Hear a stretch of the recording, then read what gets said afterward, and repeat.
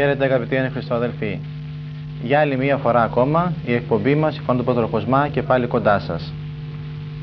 Σήμερα το θέμα το οποίο θα ασχοληθούμε θα είναι το ίδιο θέμα με το οποίο ασχοληθήκαμε και τις δύο προηγούμενες εκπομπές μας σε κάπως μικρότερο θα έλεγα έτσι ε, ποσοστό και αναλογία λόγω των άλλων θεμάτων των οποίων είχε να ασχοληθεί η εκπομπή μας. Είναι το γνωστό θέμα το οποίο για εβδομάδες τώρα συνέχει όλο τον ελληνικό λαό και ιδιαίτερα εκείνους τους Έλληνες και τους πιστούς οι οποίοι αγαπούν και την Ορθοδοξία και την Ελλάδα και αγωνίζονται για αυτή και πιστεύω και είμαι σίγουρος ότι υπάρχουν χιλιάδες τέτοιοι γνήσιοι Έλληνες και γνήσιοι χριστιανοί οι οποίοι αγαπούν έως μυελών και οστέων την Ελλάδα και την Ορθοδοξία και αν χρειαστεί και το καλέσει η ώρα και καιρός θα θυσιαστούν για την αγάπη και της πίστεώς μας αλλά και της πατρίδος μας. Άλλωστε είναι γνωστό σε όλους μας αγαπητοί είναι Χριστό αδελφοί ότι οι ήρωες όπως είπε κάποιος μεγάλος πολεμούν σαν Έλληνες και όχι ότι οι Έλληνες πολεμούν σαν ήρωες αλλά οι ήρωες πολεμούν σαν Έλληνες. Είναι γνωστά τα μεγαλεία της πίστεώς μας και τα μεγαλεία της πατρίδος μας. Είναι γνωστοί όλοι οι μεγάλοι και γνωστοί αγώνες στους οποίους έχουν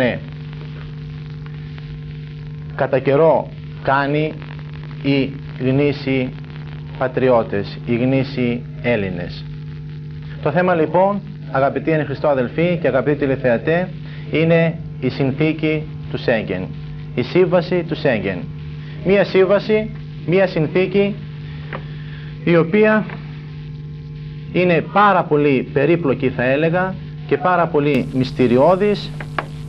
Έχει πάρα πολλά άρθρα είναι σχεδόν ολόκληρο βιβλίο αποτελείται από 150 περίπου άρθρα και τα οποία πολύ λίγοι θα έλεγα μπορούν να κατανοήσουν όλες αυτές τις φράσεις και τις εκφράσεις και τις διατάξεις των συγκεκριμένων άρθρων της συνθήκης. Μία συνθήκη η οποία ασχολείται με όλα τα μέλη κράτη της ΕΟΚ. Με εκείνα δηλαδή τα κράτη, με εκείνα τα έθνη τα οποία θα θελήσουν σε κάποια δεδομένη στιγμή να γίνουν μέλη αυτής της σύμβασης, αυτής της συνθήκης. Η συνθήκη αυτή ξεκίνησε αγαπητοί τηλεθεατέ το 1985 και συγκεκριμένα την 14η Ιουνίου του 1985. Τότε έγινε αποδεκτή αυτή η συνθήκη με όλα τα άρθρα της από τέσσερα κράτη. Από το κράτος του Βελγίου, από το κράτος της Γερμανίας, από την Γαλλική Δημοκρατία, από το Δουκάτο του Λουξεμβούργου και από το Βασίλειο των Κάτω Χωρών. Πέντε κράτη τα οποία αποδέχθηκαν και ήταν οι συμβαλόμενοι αυτοί οι οποίοι αποδέχθηκαν τις διατάξεις αυτής της συνθήκης και άφησαν ανοιχτή την εκδοχή για όσους εις το μέλλον θα θελήσουν να συμμετάσχουν και να γίνουν και αυτοί μέλη και ε, αποδεχτούν όλα αυτά τα άρθρα της συγκεκριμένης συνθήκης άφησαν λιχτό λοιπόν το ενδεχόμενο να δεχτούν και όποιους στο μέλλον θα θελήσουν να κάνουν αποδεχθεί την κατωτέρω συνθήκη του Σέγγεν. Συγκεκριμένα, η σύμβαση αυτή λέγει Σύμβαση εφαρμογής της Συμφωνίας του Σέγγεν της 14ης Ιουνίου 1985 μεταξύ των κυβερνήσεων των κρατών της Οικονομικής Ενώσεως του Μπένελουξ, της Ομοσπονδιακής Δημοκρατίας της Γερμανίας και της Γαλλικής Δημοκρατίας σχετικά με την σταδιακή κατάργηση των ελεγχών στα κοινά σύνορα. Άρα λοιπόν αυτή η συνθήκη ένα από τα κύρια στοιχεία τα οποία έχει είναι όπως μας λέγει ευθύς εξ αρχής από το εξώφυλλο της συνθήκης είναι η σταδιακή κατάργηση των ελεγχών στα κοινά σύνορα. Θα πάψουν δηλαδή να υπάρχουν έλεγχοι και έλεγχος στα σύνορα. Σε όλα τα κοινά σύνορα όλων εκείνων των μελών κρατών τα οποία θα αποδεχθούν την σύμβαση αυτή του Σέγγεν.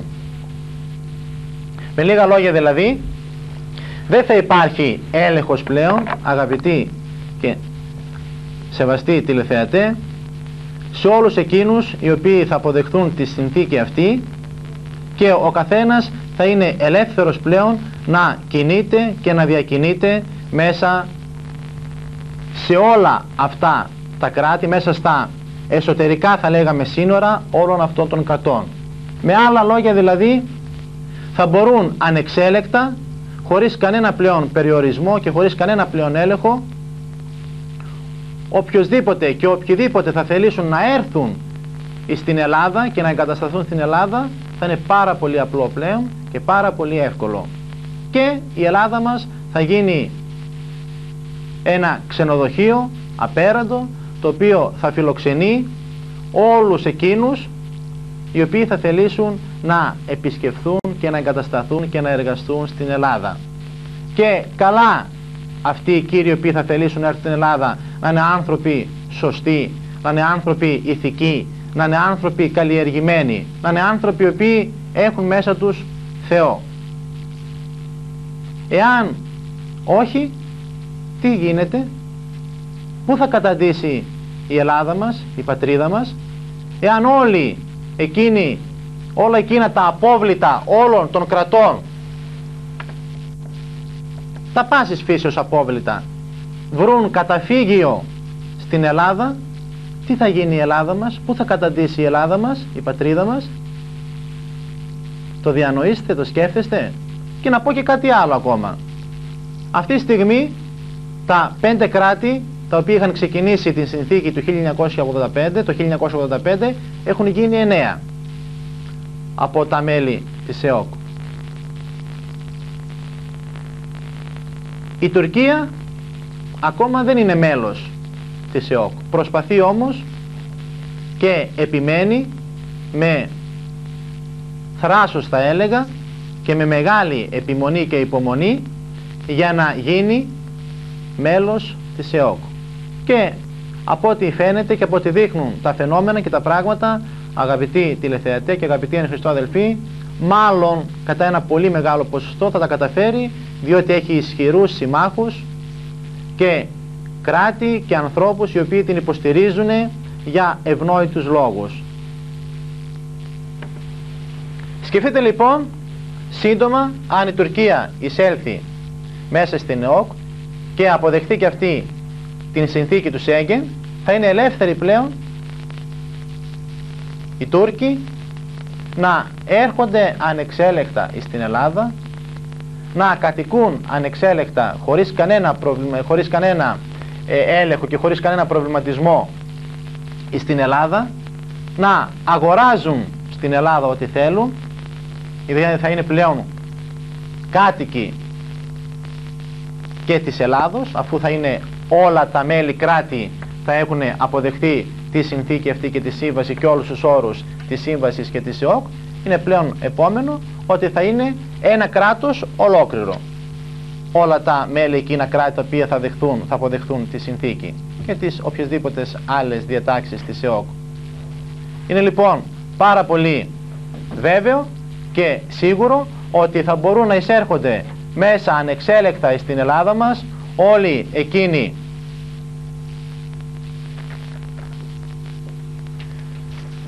Όλοι εκείνοι οι οποίοι θα θέλουν για τον α ή για τον β λόγο να έρθουν μέσα στην Ελλάδα μας και σε λίγο θα κατακλειστεί η μικρή μας αυτή αλλά τόσο ένδοξη και ηρωική και γλυκητάτη πατρίδα μας, η Ελλάδα μας από κάθε καρδιά σκαρίδι, από κάθε λογής απόβρασμα και ιδιαίτερα από αυτούς τους Τούρκους οι οποίοι θα θελήσουν κάποια στιγμή πάρα πολύ κοντά στο εγγύς μέλλον να μας αφανίσουν ή να μας εξαφανίσουν και είναι γνωστές όλες οι κατά καιρούς προκλήσεις οι οποίες δημιουργούν οι Τούρκοι ή στην Ελλάδα.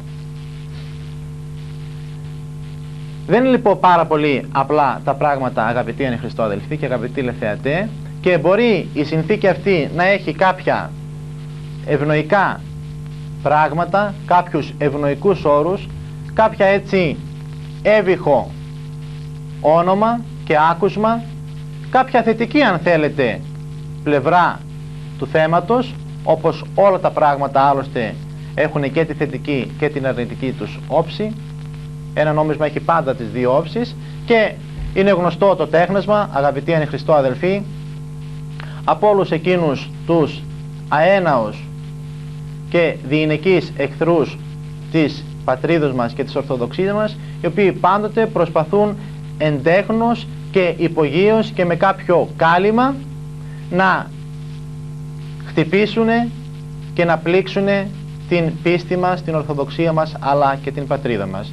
Είναι το γνωστό τέχνασμα σε όλους μας το χρυσοποιημένο χάπι ή αν θέλετε ένα άλλο τέχνασμα που το γνωρίζουμε πάλι επίσης όλοι οι άνθρωποι το τέχνασμα ή το δόλωμα αν θέλετε του ψαρά. Έτσι ένας ψαράς για να μπορέσει να αγρέψει το νυχθή εκ της θαλάσσης δεν μπορεί να πετάξει σκέτο το αγκίστρι στην θάλασσα διότι δεν θα τσιμπήσει το ψάρι.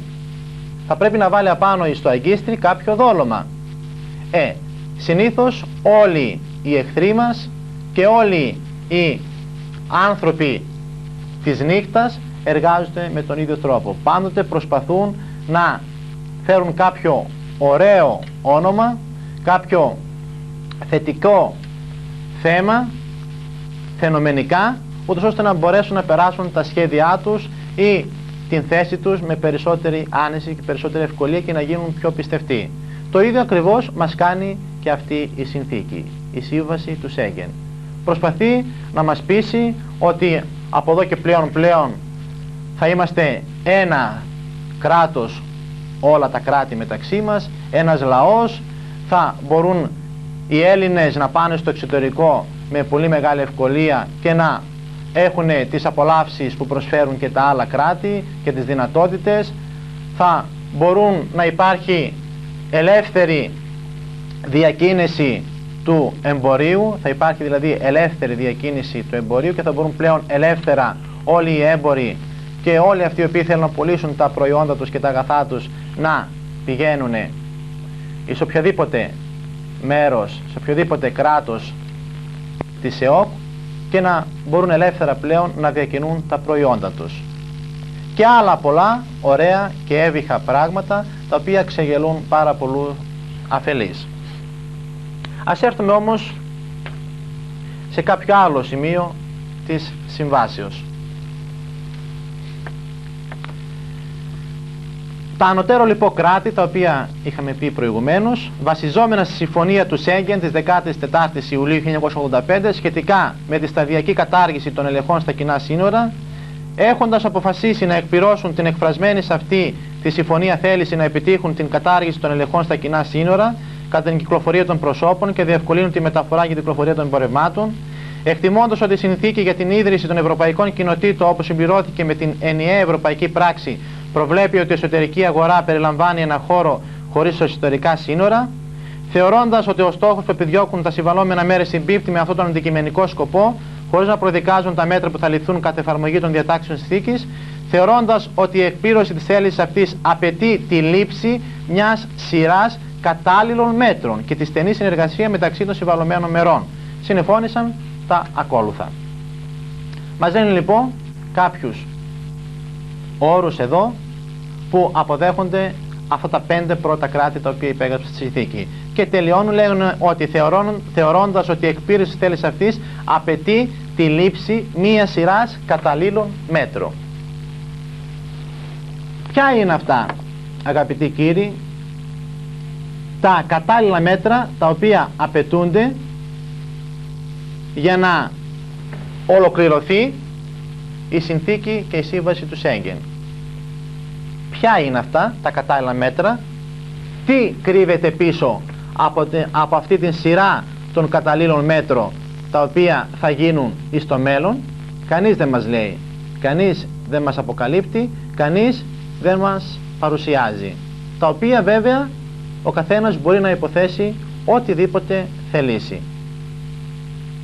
Και νομίζω ότι οι έχοντες νουν, οι εχέφρονες δηλαδή, και αυτοί οι άνθρωποι οι οποίοι ακόμα δεν έχουν χάσει το λογικό τους, την κρίση τους, την διάκρισή τους, την πίστη τους και την αγάπη τους προς τον Θεό και προς την Πατρίδα, μπορούν ακόμα και κατανοούν και καταλαβαίνουν τι μπορεί να συμβεί και τι κρύβεται πίσω από αυτή τη συνθήκη και πίσω από αυτό το συγκεκριμένο που λέει τη λήψη μιας σειράς καταλήλων μέτρων.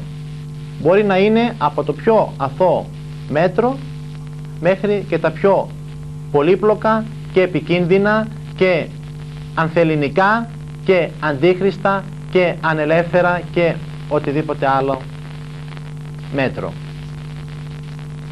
Μπορούν κάλλιστα σε κάποια δεδομένη στιγμή όταν εκείνοι κρίνουν ότι έφτασε η κατάλληλη ώρα να απαιτήσουν από ένα μέλος της ΕΟΚ, από ένα μέλος της, που θα έχει αποδεχτεί την σύμβαση του, του Σέγγεν, να υπακούσει στα καταχθόνια σχέδιά τους, στις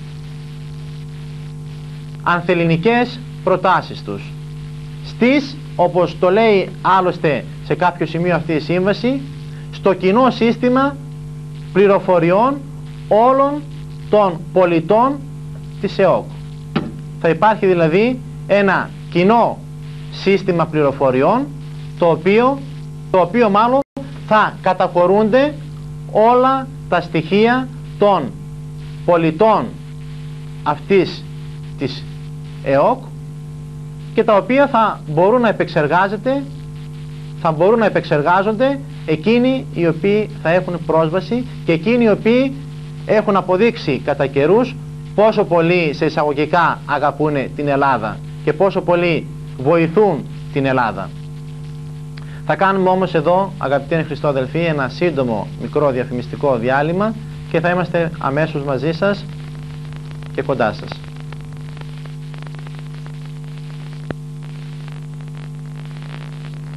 Οι μέρες φτάνουν και η εφορία ετοιμάζεται.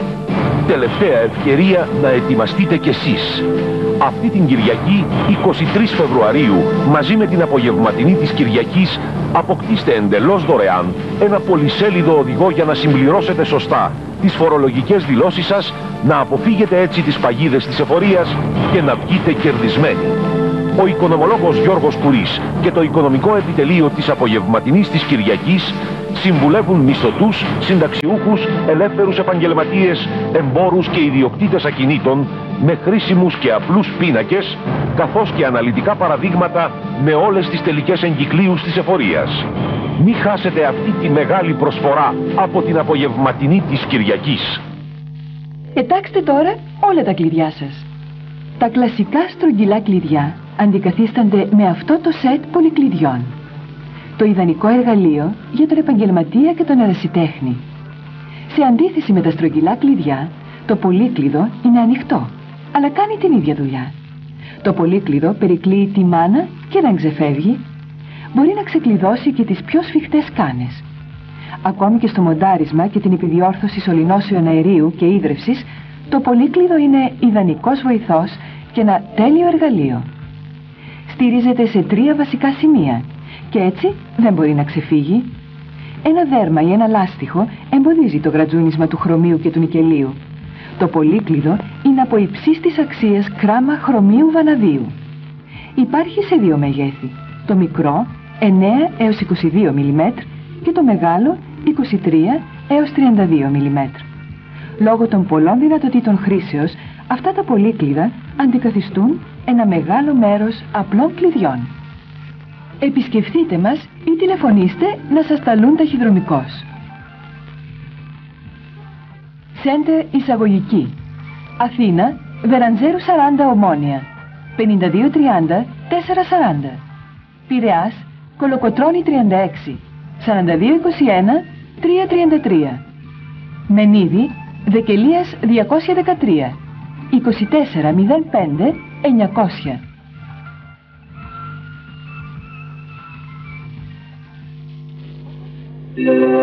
Όταν οι άλλοι μιλάνε για νοσηλευτικά προγράμματα, είναι ειδικοί. Μοναδικοί. Μεγάλοι. Εμείς στην Ασπής Πρόνοια λέμε απλώς FZIN και εννοούμε ένα ολοκληρωμένο σύστημα υγείας που ξεκινά από την πρόληψη με κάρτα check-up, χωρίς διαδικασίες, με βιβλιάριο υγείας. Σύστημα υγείας FZIN για να ζούμε καλύτερα. Από την Ασπής Πρόνοια. Κυκλοφόρησε και χαλάει κόσμο το καινούριο βιβλίο του Γρηγόρη Μιχαλόπουλου. Ξεσκεπάζω το κέφε. Η σαϊεντολογία, η θρησκεία των θρησκειών στο μικροσκόπιο. Απάτες, παρακολουθήσεις πολιτών, πιέσεις δικαστικών, εξαγορά φακέλων από την Εθνική Υπηρεσία Πληροφοριών, προκατασκευασμένα επί παραγγελία δημοσιεύματα με δικούς τους δημοσιογράφους, φακελώματα και αυτοκτονίες.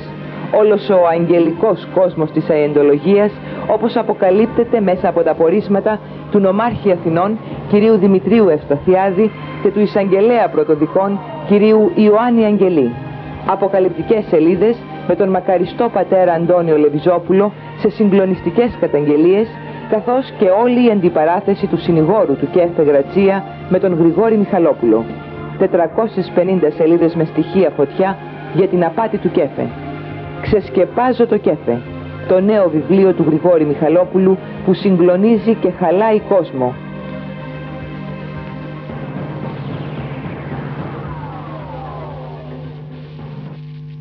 Ένας νεαρός ασθενής, ο Μεγρέμης Βασίλειος, πάσχει από κακοήθη νεοπλασία. Μόνο τα φιλάνθρωπα αισθήματα των συνανθρώπων μας μπορούν να τον βοηθήσουν να πραγματοποιήσει μια επέμβαση στις Ηνωμένες Πολιτείες. Όσοι επιθυμούν να βοηθήσουν, ας απευθυνθούν στην Εθνική Τράπεζα. Αριθμός λογαριασμού 669 κάθετος 74 28 45 Παύλα 65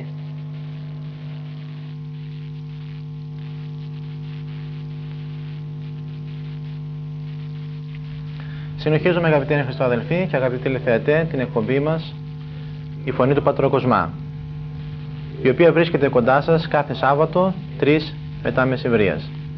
Το θέμα το οποίο ασχολούμεθα σήμερα είναι ένα πολύ καυτό και επίκαιρο θέμα το οποίο, το οποίο αφορά άμεσα όλους τους Ορθόδοξους Χριστιανούς και τους Ορθόδοξους Έλληνες και ούτως ή άλλως είτε κάποιοι είναι Ορθόδοξοι και χριστιανοί, είτε κάποιοι δεν είναι αλλά είναι Έλληνες και αγαπούν την πατρίδα τους και αγαπούν την ελευθερία τους και αγαπούν την οικογένειά τους και αυτούς αφορά και αυτούς πρέπει να τους ενδιαφέρει και να τους καίει το θέμα αγαπητοί τηλεθεατέ διότι το θέμα αυτό δεν αφορά μόνο το μέρος της πίστεως το μέρος της Ορθοδοξίας αλλά αφορά και το θέμα και το μέρος της ελευθερίας, αφορά και το θέμα των ανθρωπίνων δικαιωμάτων, αφορά πάρα πολύ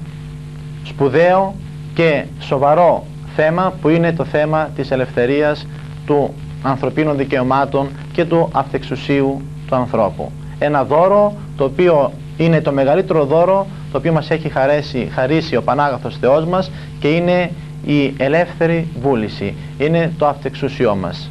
Ε, αυτό το δώρο το οποίο ο Κύριος μας χάρισε με πάρα πολύ αγάπη και πολύ καλοσύνη θέλουν να μας τον διαλύσουν και να μας το αφαιρέσουν κάποιοι επιτίδιοι. Παρακαλώ. Ναι. Ναι, κύριε Καμένε. Ναι, ναι. Χαίρετε. Μαζί μας, καλή σας μέρα. Δόξα τω Θεώ κύριε Καμένε, πώς είστε; Αγωνιζόμεθα. Χαίρομαι και εύχομαι πάντοτε να αγωνίζεστε υπέρ πίστεως και πατρίδος τα δύο ε, σημαντικότερα πράγματα για ένα Ορθόδοξο Έλληνα θα έλεγα. Τα μοναδικά θα μπορούσα να πω. Τα μοναδικά Από βεβαίως. εκεί και πέρα όλα τα άλλα είναι δευτερεύοντα και θέλω να σας συγχαρώ για τη, μεγάλη, για τη μεγάλη προσπάθεια και το μεγάλο αγώνα που κάνετε να ενημερώνει τον ελληνικό λαό διότι δυστυχώς υπάρχουν πολλά πράγματα για τα οποία ο ελληνικός λαός δεν είναι ενημερωμένος και τα κέντρα παραπληροφορήσεως και τα τεχνικά και αντιορθόδοξα κέντρα δρούν ανενόχλητα. Βεβαίως. Η προσπάθεια αυτή δεν γίνεται μόνο από την ταπεινότητά μου, κύριε Καμένη. Νομίζω ότι πολλοί είναι εκείνοι και οι κληρικοί και οι μοναχοί, αλλά και οι λαϊκοί, οι οποίοι αγωνίζονται για την πατρίδα μας και για την πίστη μας. Και ένας από αυτούς είστε, νομίζω, και εσείς και σας αξίζει πάρα πολύ μεγάλος έπαινος και πολλά συγχαρητήρια, διότι είναι λίγοι οι βουλευτές εκείνοι οι οποίοι υπάρχουν στην πατρίδα μας και οι οποίοι αγωνίζονται για τα ιδεώδη και για τις αξίες μας. Απλώς κάνω το καθήκον μου όπως το κάνουμε όλοι μας και είμαστε όλοι απλοί στρατιώτες. Το θέμα είναι ότι σε αυτές τις δύσκολες εποχές και για την Ορθοδοξία και για το έθνος χρειάζεται συνοχή, χρειάζεται οργάνωση και χρειάζεται ένα ε, νέο μήνυμα αντίδρασης και αντίστασης. Δυστυχώς οι επιλογές τις οποίες μας καλούν ε, να λάβουμε μέρος είναι επιλογές τελεσίδικες. Εάν δηλαδή προχωρήσουν συνθήκες, σαν αυτή τη συνθήκη Σέγγεν, εάν ε, πάρθουν αποφάσεις για τα εθνικά μας θέματα, θα είναι αποφάσεις οι οποίες επάρτησαν και δεν πρόκειται με ευκολία να γυρίσουμε προς τα πίσω. Εάν δηλαδή γίνει το ηλεκτρονικό φακέλωμα, εάν θα παριστούν οι Έλληνες πολίτες, οι Έλληνες Ορθόδοξοι πολίτες, εάν τα εθνικά μας θέματα κλείσουν με κακό προς την πατρίδα ε, δρόμο, είναι πάρα πολύ δύσκολο να επιστρέψουμε πίσω και να διορθώσουμε το κακό που θα γίνει. Βεβαίως, έτσι είναι όπως τα λέτε κύριε Καμένε και δυστυχώς δεν βλέπω να υπάρχουν έτσι πολλές και δυναμικές θα έλεγα αντιδράσεις. Και θα έλεγα έτσι ε, μαζική αντίδραση από όλους τους ε, βουλευτές, από όλους τους υψηλά ισταμένους, όχι μόνο τους πολιτικούς, αλλά και από το τομέα της Εκκλησίας. Διότι δεν είναι μόνο οι πολιτικοί οι οποίοι έχουν χρέος και καθήκον να αγωνίζονται και να προστατεύουν και να υπερασπίζουν τα ιερά και τα όσια της πίστης και της πατρίδος μας, αλλά νομίζουν είναι υποχρεωμένοι και έχουν και καθήκον κάτι περισσότερο ε, η Εκκλησία. Αυτοί οι οποίοι βρίσκονται και είναι επίσκοποι στα, στα θέματα ιδιαίτερα της πίστεώς μας. Η αλήθεια είναι ότι υπάρχει μια έλλειψη πληροφόρησης και σε επίπεδο πολιτικών αλλά και σε επίπεδο πολιτών. Και το λέω αυτό διότι πάρα πολλούς ερωτικούς βουλευτές οποίους ενημερώσαμε για το θέμα της συνθήκης Σέγγεν για το ηλεκτρονικό φακέλωμα οφείλω να πω ότι δεν ήταν ενημερωμένοι. Και εκεί νομίζω ότι είναι και ευθύνη όλων μας, ευθύνη και της πολιτείας αλλά και της εκκλησίας. Ε, είναι πράγματι σημαντικό να γνωρίζει ο ελληνικός λαός και καλώς κάνετε μέσα τις εκπομπές σας ε, και εσείς και η κυρία Δουράκη που τονίζετε είναι ότι υπάρχει απόφαση της Εκκλησίας της Ελλάδος και υπάρχει και απόφαση του Αγίου Όρους που αντιτίθεται η Ελληνική Ορθόδοξη Εκκλησία αλλά και το Άγιον Όρος, οι γέροντες του Αγίου Όρους σε αυτήν τη συνθήκη Σέγγεν. Είναι σημαντικό λοιπόν όταν θα έρθει προς ψήφιση στη Βουλή που εκεί πέρα υπάρχει μια ολόκληρη μεθόδευση από τα κέντρα που δουλεύουν υπέρ της συνθήκης και πέραν των γνωστών ανθεληνικών και διορθόδοξων κέντρων υπάρχουν και δημοσιογραφικοί οργανισμοί, ολόκληροι σαν τον οργανισμό Λαπράκη, οι οποίοι το στηρίζουν αυτή τη στιγμή. Βλέπετε ότι σήμερα κάνουν ένα μεγάλο πόλεμο και μέσα από την εφημερίδα προσπαθούν να χτυπήσουν εμένα και οποιοδήποτε άλλον ε, προσπαθούν να αντισταθούν, αλλά θα πρέπει και η δική μας αντίσταση να είναι μεγαλύτερη. Θα πρέπει δηλαδή όταν θα έρθει προς συζήτηση η συνθήκη έξω από τη Βουλή των Ελλήνων να μαζευτούν όσο περισσότεροι Έλληνες Ορθόδοξοι Χριστιανοί πολίτες μπορούν. Βεβαίως κύριε Καμένη, έχουμε ιερό καθήκον όλοι να το κάνουμε αυτό το πράγμα, αλλά νομίζω και πιστεύω ότι έχει φτάσει σε τέτοιο σημείο η κατάσταση σήμερα ε, στην Ελλάδα μας. Βλέπετε πόσα πολλά προβλήματα έχουν δημιουργήσει τεχνιέντος όλοι αυτοί οι κύριοι οι οποίοι ε, αποσκοπούν στην διάλυση της πατρίδος μας και της Ορθοδοξίας μας. Βλέπετε πόσες πολλές απεργίες γίνονται καθημερινά, πόσες πολλές διαμαρτυρίες, πόσα πολλά προβλήματα και γεννάται ένα εύλογο ερώτημα. Ε, μένει χρόνος πλέον στους σύγχρονους ε, Έλληνες και ε, Ορθοδόξους, θα έλεγα έτσι, Ορθοδόξους Έλληνες, μένει χρόνος και ευκαιρία να ασχοληθούν και με θέματα πνευματικής φύσεως και κοινωνικής φύσεως και ε, πατριωτικής φύσεως ή πλέον ασχολούνται με θέματα καθημερινότητος ε, και θέματα βιοποριστικότητας θα έλεγα. Φοβούμαι πολύ ότι όλη αυτή η προσπάθεια της πίεσης του ελληνικού λαού και της οικονομικής πίεσης αλλά και της κοινωνικής πίεσης του ελληνικού λαού γίνεται ε, προκειμένου να φύγει η κοινή γνώμη από τα σημαντικά, από τα σοβαρά θέματα, τα θέματα που έχουν να κάνουν με την εθνική μας υπόσταση και με την ορθόδοξη πίστη μας. Και αυτό γίνεται ακριβώς προκειμένου να μην ασχολούμαστε με αυτά τα θέματα. Βλέπουμε ότι δημιουργούνται ε, πιέσεις και από τη μεριά της κυβερνήσεως και των κέντρων αυτών που προανέφερα σε κοινωνικές ομάδες οι οποίες ζουν κάτω από τα όρια της φτώχειας, προκειμένου να μην μπορούν να ασχοληθούν με αυτά τα πνευματικά θέματα. Βλέπουμε ότι δημιουργούνται ε, εθνικά θέματα ε, και με ευθύνη και των κυβερνώντων προκειμένου να φύγει η προσοχή από τα άλλα σοβαρά και την ώρα που δουλεύουν με έναν τον λεγόμενο πολιτικό αντιπερισπασμό περνούν εκείνα που θέλουν να περάσουν και το οποίο ο ελληνικός λαός δεν τα παίρνει εύκολα χαμπάρι που είναι ο λαός. Μάλιστα, χρησιμοποιήσετε μια πολύ επιτυχημένη ε, έκφραση πολιτικός αντιπερισπασμός ο οποίος είναι γνωστός σε όλους μας τι κάνει ο, τι δημιουργεί ένας αντιπερισπασμός ο ψεύτικος αντιπερισπασμός για να αποσπάσει την προσοχή κάποιων ε, ανθρώπων ή κάποιων ομάδων ή ακόμα και των στρατιωτών και των ενός στρατεύματος για να μπορέσουν να ε, προσανατολιστεί η προσοχή τους και να μην δουν την πραγματική επίθεση που θα γίνει από εκεί που έχει μελετηθεί να γίνει.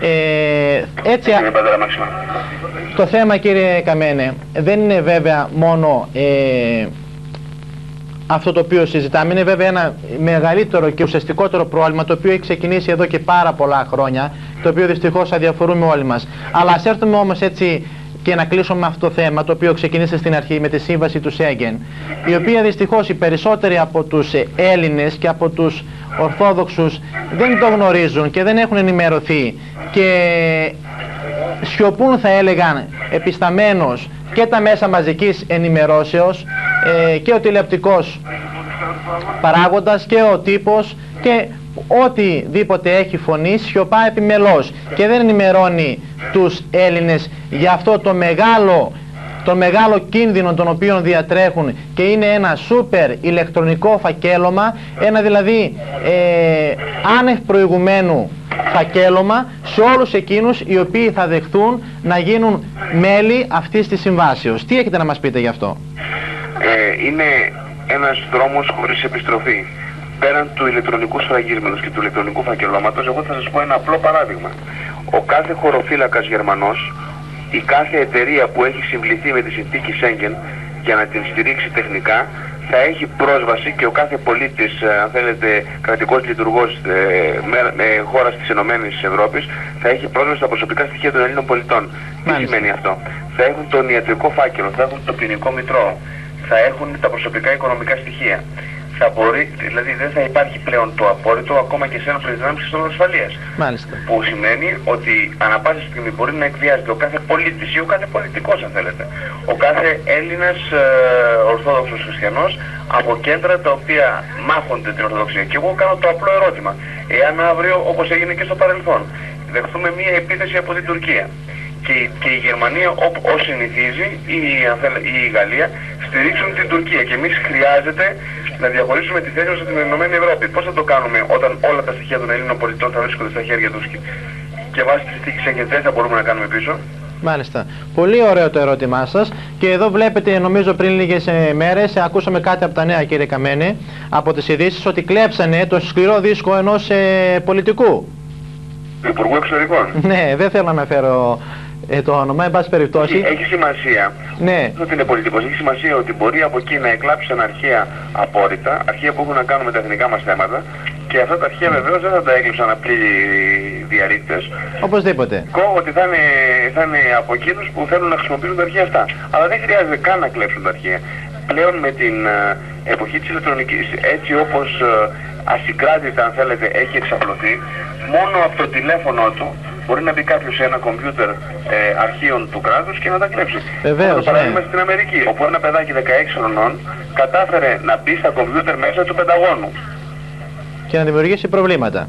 Βεβαίως. Ναι, αυτό ήθελα να πω και εγώ να τονίσω, ότι αν μπορούσαν να κλέψουν, α πούμε, κάτω από νορμάλ συνθήκες και χωρίς να υπάρχουν ακόμα τα δεδομένα σε ένα κοινό σύστημα πληροφοριών ε, το σκληρό δίσκο ενός πολιτικού, του Υπουργού Εξωτερικών. Σκεφτείτε λοιπόν τι θα γίνεται, πόσα πολλά στοιχεία θα μπορούν σε εισαγωγικά να αγρέψουν ή να κλέψουν μέσα... Να δημιουργήσουν κιόλας. Δηλαδή μπορεί να δημιουργούν φακέλους. Ακριβώς. Μπορούν δηλαδή αν θέλουν να εξοντώσουν έναν πολίτη, έναν πολιτικό, να του βγάλουν 10 σκάνδαλα από εκεί που δεν υπάρχουν χωρίς να μπορέσει να αντιδράσει. Εάν δηλαδή προσθέσουν στοιχεία στο φάκελο του ποινικού του Μητρώου ή του φορολογικού του Μητρώου, είτε αν θέλει της προσωπικής τους ζωής, κανείς δεν θα μπορέσει να αντισταθεί σε αυτή την παρέμβαση που θα κάνουν. Ακριβώς. Θα είμαστε αδύνατοι για οποιαδήποτε παρέμβαση και ε, αντίσταση να κάνουμε. Ακριβώς. εάν ήταν στα χέρια της ελληνικής αστυνομίας παραδείγματος, εγώ δεν θα είχα καμία αντίρρηση. Βεβαίως και να καταπολεμηθεί η εγκληματικότητα, βεβαίως και να υπάρχουν πληροφορίες για τους Έλληνες πολίτες από Έλληνες πολίτες. Σωστό. Όταν όμως φεύγει αυτό από τα εθνικά μας όρια και πηγαίνει εκτός Ελλάδα, πηγαίνει σε πολίτες τρίτων χωρών και τρίτου θρησκεύματος, Είναι σημαντικό αυτό που λέω. Βεβαίως. Δηλαδή όταν, όταν ε, ο κέντρο μπορούν να έχουν πληροφορήσει για την ουσία μας, από εκεί και πέρα τα πράγματα μπερδεύονται. Έχετε απόλυτο δίκιο κύριε Καμένη και εύχομαι γρήγορα οι Έλληνες να συνειδητοποιήσουν τον μεγάλο αυτό κίνδυνο τον οποίο ε, αναμένεται και έρχεται ολοταχώς να αντιδράσουμε δυναμικά, μικροί και μεγάλοι, ψηλά ιστάμενα, ιστάμενοι και όχι και να ε, αποτρέψουμε αυτό το επικίνδυνο, τον επικείμενο κίνδυνο. Ευχαριστώ πάρα πολύ κύριε Καμένη. Εγώ ευχαριστώ και Που θέλω ήσασταν να κοντά κλείσω μας. λέγοντας, α, όλοι οι πολίτες ας ασκήσουν πίεση σε εκείνους τους πολιτικούς που δεν έχουν ενημερωθεί, ας τους ενημερώσουν και σε αντιδράσουν μαζικά. Η αντίδραση πρέπει να είναι μαζική και άμεση. Βεβαίως, βεβαίως. Συμφωνούμε κύριε Καμένη και σας ευχαριστούμε πάρα πολύ που είχαμε την τιμή να επικοινωνήσετε μαζί μας. Εγώ ευχαριστώ πολύ. Και σας εύχομαι καλή δύναμη και πάντα να είστε άξιος και να αγωνίζετε υπέρ πίστεως και πατρίδος. Ευχαριστώ πολύ το Χαίρετε. καθήκον που κάνω απέναντι στην πατρίδα μου και στην Ορθοδοξία. Γεια σας. Ευχαριστώ.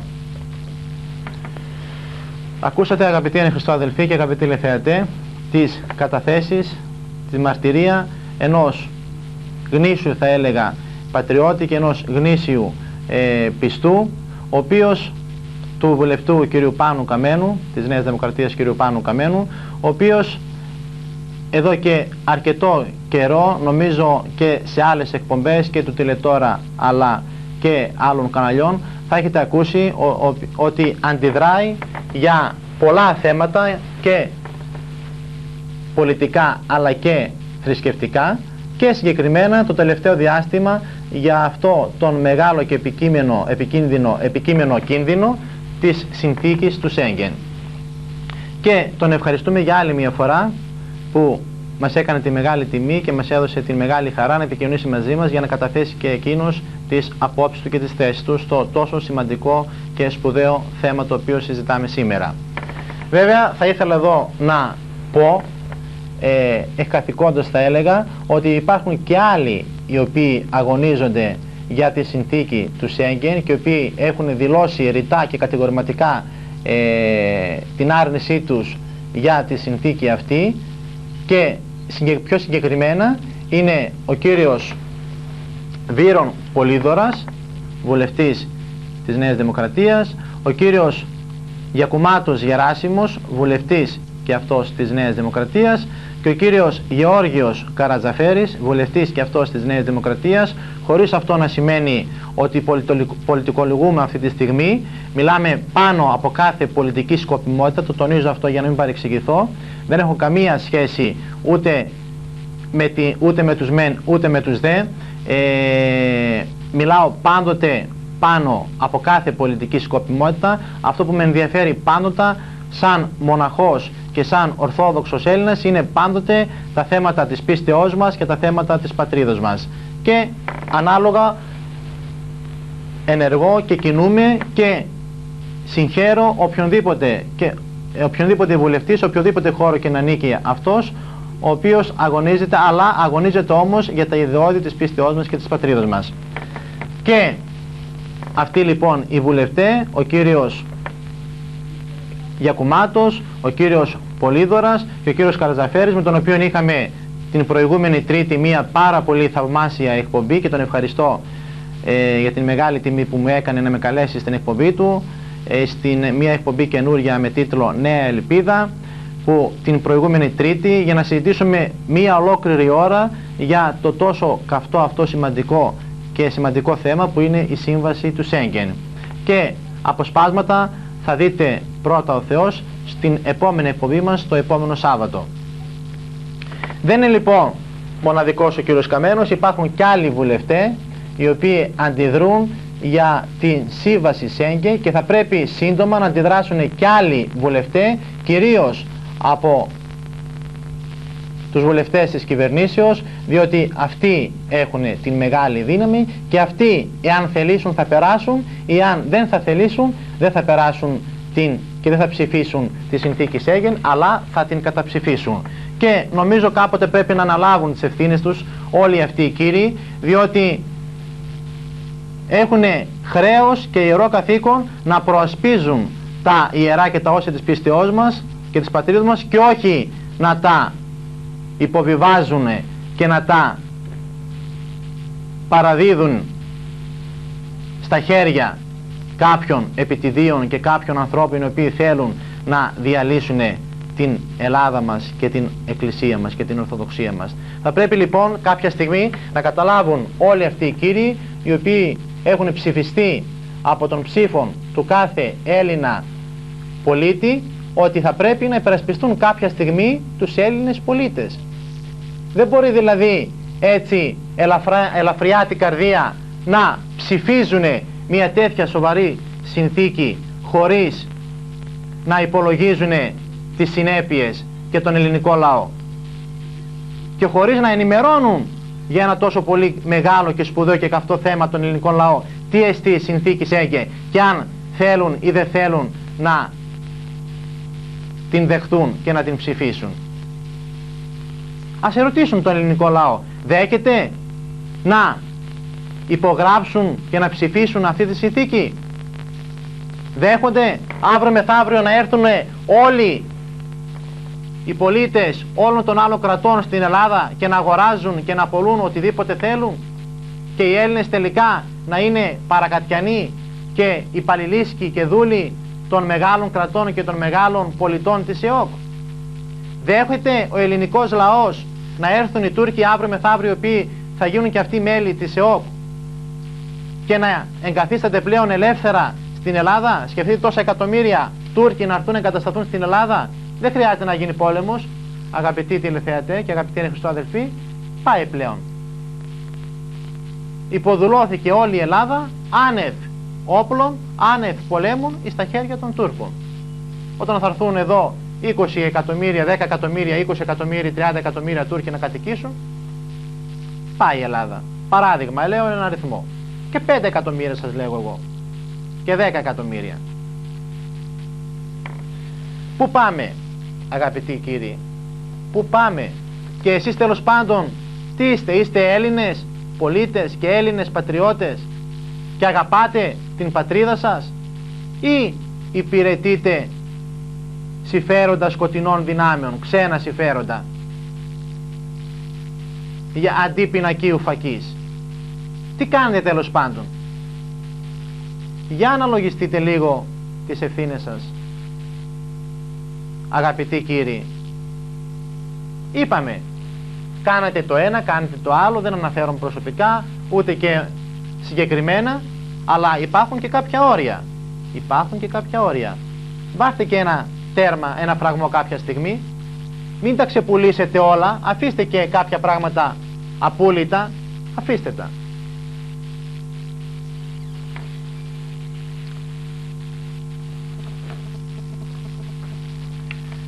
Ας έρθουμε ξανά στη συνθήκη, αγαπητοί τηλεθεατές, και να δούμε κάποια άλλα σημεία αρκετά σημαντικά. Λέει εδώ στο πρώτο άρθρο τι είναι εσωτερικά σύνορα και είναι όλα τα κοινά χερσαία σύνορα των συμβαλωμένων μερών, καθώς επίσης και τα αεροδρόμια προκειμένου περί των εσωτερικών πτήσεων και τα θαλάσσια λιμάνια προκειμένου περί των κανονικών συνδέσεων πλοίων μεταφόρτωσης που έρχονται κατευθύνοντα αποκλειστικό σε άλλο λιμάνι στο έδαφος των συμβαλωμένων μερών, χωρίς να προσεγγίσουν λιμάνια εκτός των έδαφων αυτών. Ποια είναι τα εξωτερικά σύνορα, τα χερσαία και θαλάσσια σύνορα, καθώς επίσης και τα αεροδρόμια και τα θαλάσσια λιμάνια των συμβαλωμένων μερών, εφόσον δεν αποτελούν εσωτερικά σύνορα. Ποια είναι η πτήση εσωτερικού, ποιο είναι το τρίτο κράτος, κάθε κράτος άλλο από τα συμβαλόμενα μέρη. Ποιος είναι ο αλλοδαπός; Αλλοδαπός είναι κάθε πρόσωπο που δεν είναι υπήκο των κρατών μελών των ευρωπαϊκών κοινοτήτων. Και λέει μετά ποιος είναι ο αλλοδαπός ο ανεπιθύμητος αλλοδαπός. Κάθε αλλοδαπός που έχει κατακορυθεί ως ανεπιθύμητος στο σύστημα πληροφοριών Σέγγεν συμφώνως προς τις διατάξεις του άρθρου 96. Κάθε λοιπόν αλλοδαπός, κάθε ένας δηλαδή ο οποίος δεν ανήκει μέσα σε αυτή την σύμβαση θεωρείται αλλοδαπός και έχει κατακορυθεί, καταχωρηθεί μέσα στο σύστημα αυτό πληροφοριών το ηλεκτρονικό σύστημα πληροφοριών του Σέγγεν ως ανεπιθύμητο, αυτός ο άνθρωπος πλέον δεν μπορεί να εισέλθει μέσα ή στα κράτη αυτά, μέσα στις χώρες αυτές, διότι έχει χαρακτηριστεί και έχει καταχωρηθεί μέσα στο κεντρικό σύστημα πληροφοριών του Σέγγεν ως ανεπιθύμητος. Αυτός είναι ο αλλοδαπός. Το ίδιο όμως ισχύει και για οποιοδήποτε μέλος της συνθήκης Σέγγεν, ο οποίος και αυτός έχει χαρακτηριστεί ως ανεπιθύμητο πρόσωπο. Υπάρχουν δηλαδή κάποια δεδομένα ποιοι χαρακτηρίζονται ως επιθυμητοί και ποιοι χαρακτηρίζονται ως ανεπιθύμητοι. Ας πάμε στο άρθρο 94 και 96 για να δούμε 92 και 94 για να δούμε ποιοι είναι οι ανεπιθύμητοι.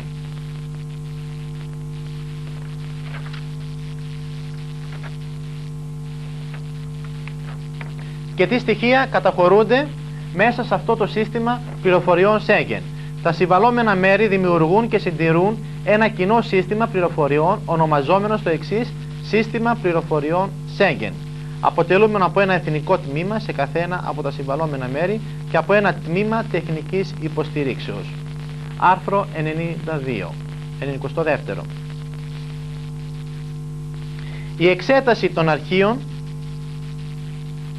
δεδομένων των εθνικών τιμάτων των άλλων συμβαλωμένων μερών δεν θα είναι δυνατή. Το σύστημα πληροφοριών ΣΕΝΚΕ περιλαμβάνει αποκλειστικά τις κατηγορίες δεδομένων που παρέχονται από τα συμβαλόμενα μέρη και είναι απαραίτητα για τους σκοπούς που προβλέπονται στα άρθρα 95 έως και 100. Το συμβαλόμενο μέρος που παρέχει πληροφορίες ελέγχει αν η σπουδαιότητα της συγκεκριμένης περιπτώσεως αιτιολογεί την εισαγωγή του στο σύστημα πληροφοριών Σέγγεν. Οι κατηγορίες των δεδομένων είναι οι ακόλουθες. Πρώτη κατηγορία, καταχωρούμενα πρόσωπα. Δεύτερο, δεύτερη κατηγορία, αντικείμενα που αναφέρονται στο άρθρο 100 και τα οχήματα που αναφέρονται στο άρθρο 99. Τρίτη κατηγορία, η οποία έχει και μεγαλύτερη σημασία. Προσέξτε. Για τα πρόσωπα μπορούν να εισάγονται κατά ανώτατο όριο τα ακόλουθα στοιχεία. Πρώτο στοιχείο, το επώνυμο και το όνομα. Ενδεχόμενα επίσης συναφή στοιχεία καταγράφονται ξεχωριστά. Δεύτερο, τα ιδιαίτερα αντικειμενικά και αναλύωτα φυσικά χαρακτηριστικά. Τρίτο, το πρώτο γράμμα του δευτέρου ονόματος.